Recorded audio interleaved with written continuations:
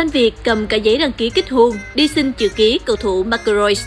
Trận đấu giao hữu giữa đội tuyển Việt Nam và câu lạc bộ Borussia Dortmund diễn ra vào tối qua, ngày 30 tháng 11, đã nhận được đông đảo sự quan tâm theo dõi của cổ động viên.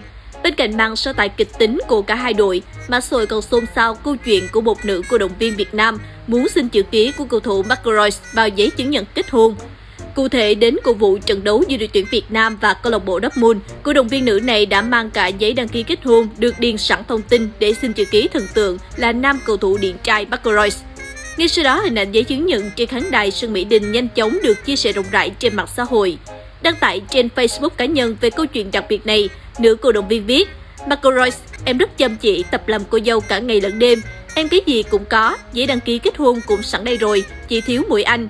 Theo đó, tuy chưa xin được chữ ký thần tượng vào giấy chứng nhận kết hôn, nhưng cô nàng cũng đã may mắn xin được chữ ký Mark Royce vào chiếc áo có tên cầu thủ. Được biết, Mark Royce là người đầu tiên đưa cô gái này đến với bóng đá. Cô nàng đã theo dõi Mark Royce từ năm 2013. Cô thích vẻ ngoài điện trai và sự trung thành của Royce đối với câu lạc bộ của mình.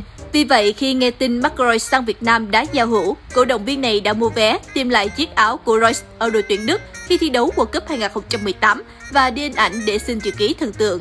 Được biết, ý tưởng độc đáo muốn xin chữ ký của Mark vào giấy chứng nhận kết hôn của cổ động viên này xuất phát từ việc cô muốn tạo ra sự khác biệt đối với những người hâm mộ khác.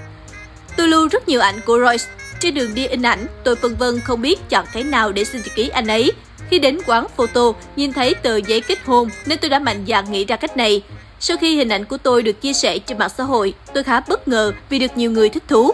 Từ trận đấu đến giờ, tôi đã nhận hàng trăm thông báo và lời mời kết bạn trên Facebook. Nữ cổ động viên chia sẻ Câu chuyện của nữ cổ động viên này đã nhận về đông đảo sự chú ý của người dùng mạng xã hội. Hầu hết mọi người đều bình luận rằng cô nàng rất khôn khéo, có ý tưởng sáng tạo, chẳng giống với bất kỳ người hâm mộ nào.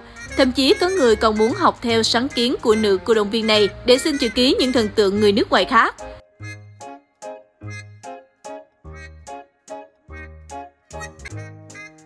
Còn bạn, bạn có ấn tượng với các xin chữ ký độc lạ của cô gái này không? Hãy để lại ý kiến của mình bên dưới phần bình luận để mọi người cùng biết nha.